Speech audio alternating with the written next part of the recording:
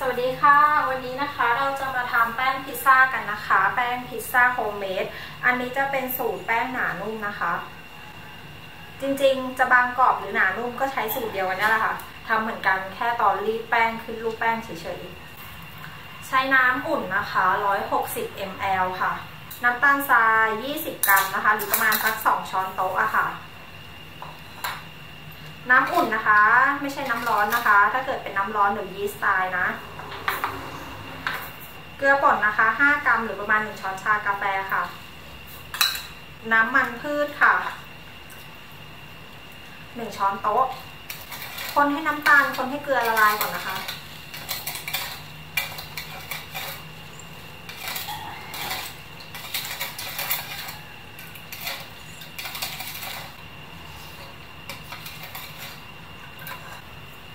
ยีสต์นะคะ ใช้ยีสต์สำเร็จอะคะ่ะ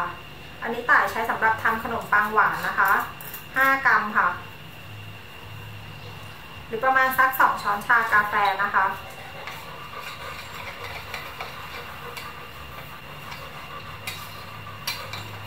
ต่ายจะผสมลงไปแบบนี้นะคะ เพราะว่าเดี๋ยวจะได้เอาไปใส่แป้งง่าย ๆ แป้งสาลีอเนกประสงค์ค่ะ 250 กรัม เอาส่วนผสมเหลวนะคะ ลงมาเทไปเลย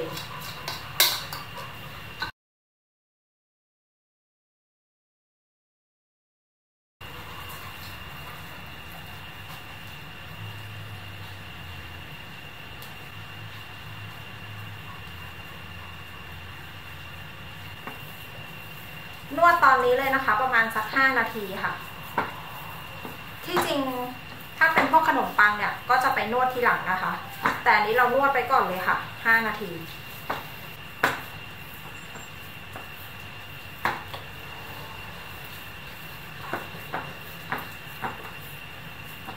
ก็ต่ายนวดสัก 5 นาทีนะคะ แล้วก็เดี๋ยวหมักเอาไว้ค่ะ พักแป้งเอาไว้ พักโดเอาไว้นะคะ แบบนี้ประมาณสัก 45 นาทีค่ะ ให้เขาขึ้นฟูประมาณ 2-3 เท่า เราพักโดเนี่ยมาครบ 45 นาทีแล้วนะคะ ถึง1ชั่วโมงอะค่ะ พักไว้ได้เลย เดี๋ยวเราจะเอาออกมานะคะ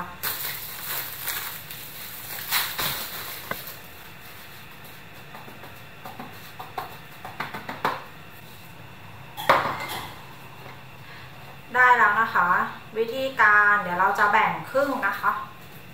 เราจะใช้เป็นแป้งหนานุ่มอันนึงนะคะ แล้วก็แป้งกรอบอันหนึ่งอะ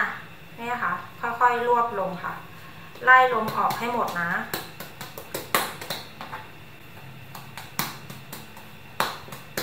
แบบนี้เลยนะคะ แล้วก็เนี่ยค่ะ นี่นะคะ ดึงแป้ง ดึงแป้งลงมานะคะ เนี่ยค่ะ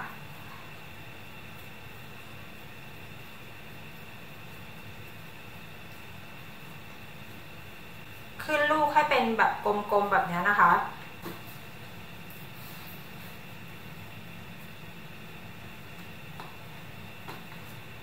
อั นี้ได้หนึ่งลูกแล้วไม่ต้องนวดไม่ต้องอะไรแล้วนะคะ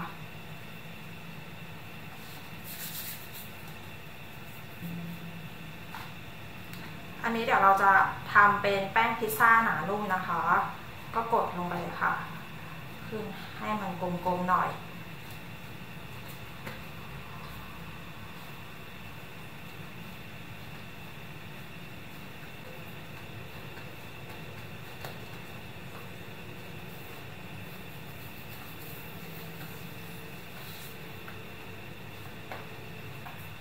ถ้าเราอยากให้มีขอบนะคะ แล้วก็เนี่ยค่ะ ใช้มือนี่ยค่ะกดให้มันแบบขึ้นขอบขึ้นมา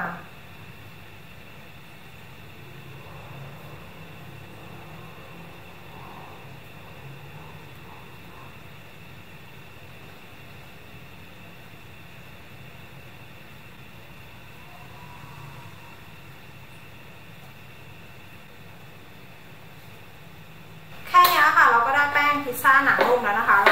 เตรียมแต่งหน้าไปอบเอาไปทาซอสอะไรก็ว่ากันไปค่ะ ใครจะใส่หน้าอะไรใครจะทาซอสอะไรนะคะ ก็ได้เลยค่ะ วันนี้ต่ายก็จะทำเป็นแบบแป้งให้ดูเฉยๆนะคะ ว่านี่ทำแป้งโฮมเมดที่บ้านแป้งพิซซ่าก็ได้ค่ะ